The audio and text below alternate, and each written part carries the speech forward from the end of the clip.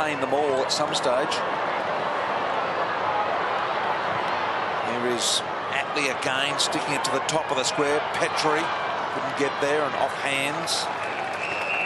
Could be the other one if he developed a bit more size about himself. Got a nice blend at the moment, the Fremantle Dockers of the older age yep. that you just spoke of, the mid, the middle age, and and certainly the youngs. Sort of perfect. got it all to do, and players converge. Pavlich, a little fumble, soccer off the ground, touched right on the line by Duffield, I reckon.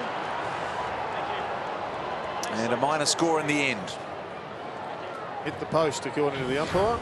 Let's have a look if it did. Yep. Off the hand, onto the Off post. the hand of the post, yeah. Shaun Atley in game three for the Roos. In need of one here. Going to have to kick at the 50, and that is tight, and I think it may well be there. Snuck in by an inch. The Roos have got it. What do you think, Jono? Well, they're hanging in. The selected side this week for Fremantle. It'll be a welcome return for them. Fyfe was initially there, and now the oh. Roos. Did he throw it? Richardson, nice smother five.